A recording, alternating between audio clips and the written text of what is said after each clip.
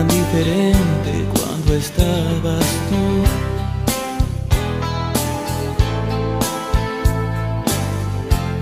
Sí que era diferente cuando estabas tú.